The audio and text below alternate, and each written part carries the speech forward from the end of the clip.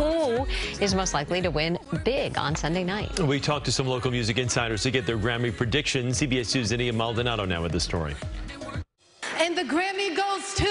Grammy goes to. Grammy goes to. And the winner is. With 10 nominees apiece in each of the big four categories at this year's Grammy Awards, predicting the night's top winners is tougher than ever.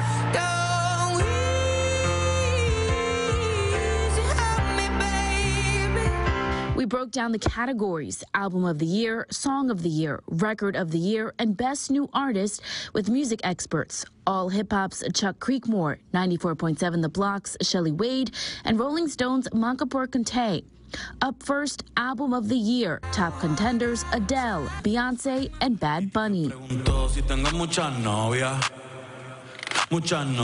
Adele, of course, released 30 within the Grammy eligibility window. And just this summer, Beyonce released Renaissance. Um, for both of them, it was both of their uh, first albums in about six years. Beyonce has won 28 Grammys. Oh, baby, baby, but has never taken home Album of the Year. This is Beyonce's year. I would not be surprised if she takes home Album of the Year. Up next, Song of the Year and Record of the Year. Wade breaking down the difference between the two. So, Record of the Year is uh, the Grammy that goes to the artists, the producers, and the engineers while Song of the Year goes to the songwriters. For Song of the Year, the bet is T Swift. I can see it going to Taylor Swift's All Too Well. While Record of the Year remains a close call between Lizzo, Adele, and Harry Styles. You know record of the year. It's looking like Adele's big year. She had a huge song with Easy on Me.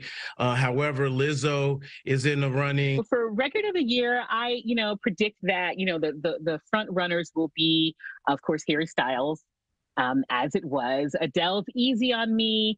As for Best New Artist, Creekmur, who is a Recording Academy member and will be in attendance on February 5th, says the great thing is all of the nominees represent distinct genres. We've got um, a really good well-rounded group of new artists. One of the uh, bigger names is uh, Anitta, who's a Latin artist, and she's got an incredible presence.